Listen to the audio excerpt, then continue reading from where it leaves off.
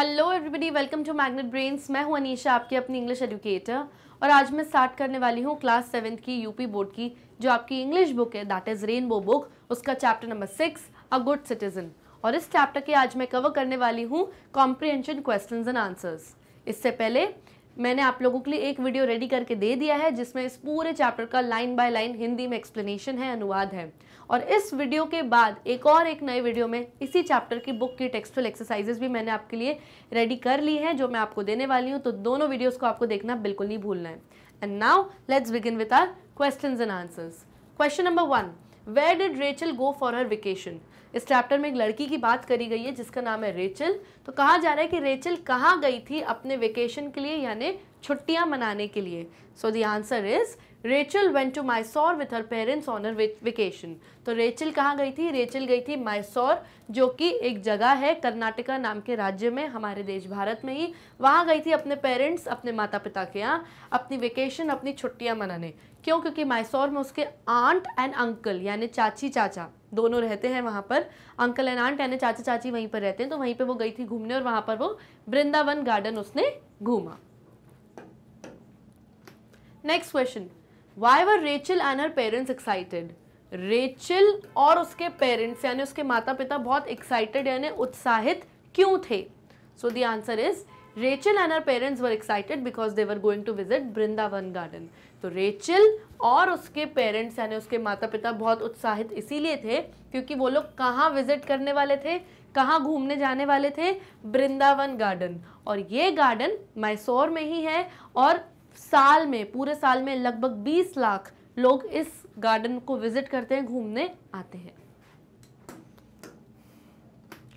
Next question what did Rachel want to make for herself what did Rachel want to make for herself Rachel को अपने लिए क्या बनाना है? Rachel को अपने लिए क्या बनाना है? So the answer is Rachel wanted to make a bouquet of garden flowers for herself जब रेचल वृंदावन गार्डन घूमने गई तो उसने वहाँ पे बहुत सुंदर सुंदर फूल, फव्वारे फ्लावर्स फाउंटेन सब देखे।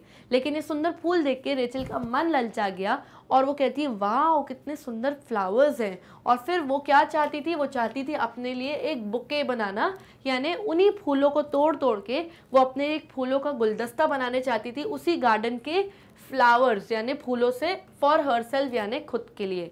लेकिन ये चीज़ उसको नहीं करनी चाहिए थी। क्यों? क्योंकि अगर आप एक अच्छे नागरिक हो, एक गुड सिटीजन हो तो आप सार्वजनिक स्थानों पर पब्लिक प्लेसेस पर जब आप जाते हो तो वहाँ की सुंदरता खराब नहीं करते हो। और फूल तो बिल्कुल तोड़ने भी नहीं चाहिए क्योंकि उसी से जगह की सुंदरता बढ़ती है। Next question how did the old man fall and who help him Vrindavan garden में ही जब वो लोग गार्डन पूरा घूम के बाहर निकल रहे थे तो उन्होंने देखा कि एक ओल्ड मैन एक बुज़ुर्ग आदमी ट्रिप हो गया, यानी कि ठोकर खा के फॉल यानी गिर गया। और जब सबने देखा कि बेचारा बुज़ुर्ग आदमी ओल्ड मैन गिर गया तो हु हेल्प हिम तो उस बुज़ुर्ग आदमी की हेल्प यानी मदद किसने की?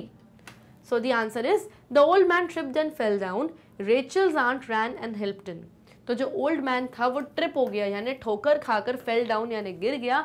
तो Rachel's aunt ran and help him तो जो रेचल की आंट है, जो रेचल की चाची है, वो दौड़ कर भाग जल्दी से गई और उस ओल्ड मैन की उन्होंने हेल्प करी, मदद करी। जब तक दूसरे लोग तो खड़े होकर सोच ही रहे थे कि अरे कौन जाए, कैसे इनकी मदद करे। तब तक तो रेचल की आंट भाग के उनकी मदद उन्होंने कर भी ली। तो ये एक गुड सिटीजन, एक अच्छे नागरिक की निशानी है, क्वालिटी विशेषता है कि आपके आसपास अगर कोई भी ट्रबल में, कोई भी मुसीबत में है तो आपको उनकी मदद करनी चाहिए। डजेंट मैटर आप उनको जानते हो कि नहीं जानते हो। जैसे बुज़ुर्ग आदमी गिर गया या कोई ब्लाइंड मैन, कोई अंधा आदमी है, जिसको रोड क्रॉस करना है तो आपको उनकी मदद करनी चाहिए और इससे आप क्या बनेंगे? एक गुड सिटीजन यानी कि एक अच्छे नागरिक बनेंगे। Next what must we do when we see anyone in trouble जब भी हम एनी वन यानी किसी को भी ट्रबल में, परेशानी या मुसीबत में देखते हैं तो वॉट मस्ट वी डू तो अब हमें क्या करना चाहिए? So the answer is we should go to them and always help them who are in trouble तो हमें उनके पास जाना चाहिए और हमेशा उनकी हेल्प यानी मदद करनी चाहिए जो भी लोग ट्रबल में हैं यानी मुसीबत में है, परेशानी में और कोई फ़र्क नहीं पड़ता कि आप उनको जानते हैं कि नहीं जानते जब अगर कोई बुज़ुर्ग व्यक्ति या कोई भी परेशानी में है तो आप उनकी मदद करिए और इसी से आप एक गुड सिटीजन यानी कि एक अच्छे नागरिक बनेंगे देश के। Next question what should be the qualities of a good citizen एक गुड सिटीजन यानी एक अच्छे नागरिक की क्या क्वालिटीज होती हैं, क्या विशेषताएँ होती हैं एक अच्छे नागरिक की? बहुत इंपॉर्टेंट क्वेश्चन है हंड्रेड परसेंट एग्ज़ाम में आने के इसके चांसेस हैं। So the answer is the good the qualities of a good citizen are अब वो क्वालिटीज वो विशेषताएँ जो एक अच्छे नागरिक की होती हैं, वो हैं number one a good citizen should always be ready to help those in trouble एक अच्छा नागरिक हमेशा रेडी यानी रेडी होना चाहिए उन लोगों की हेल्प करने के लिए जो लोग ट्रबल में, यानी कि मुसीबत में है, परेशानी में है। Number two a good citizen should take care of people around him और हर एक अच्छा नागरिक अपने आस पास अराउंड मतलब चारों तरफ़ आस पास उन सभी लोगों की केयर करें, देखभाल करें जो उसके आस पास हैं।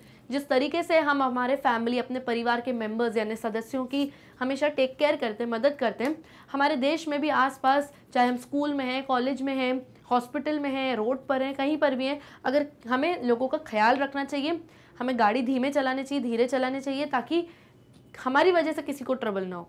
ऑल्सो कोई अगर मुश्किल में है तो उनकी हमें जल्द से जल्द मदद करनी चाहिए।